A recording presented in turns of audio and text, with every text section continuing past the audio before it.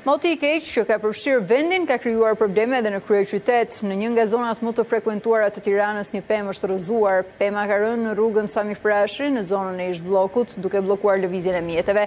Një makinë tip Hyundai ka pësuar dëmtime të konsiderueshme pasi është goditur nga pema që rrëzohej teksa ishte në lëvizje. Edhe në zonën Myslym Shyri, një pemë është rrëzuar duke bllokuar rrugën. Degët e pemës kanë rënë mbi disa makina që ndodheshin të parkuara pranë, duke shkaktuar dëme të konsiderueshme materiale.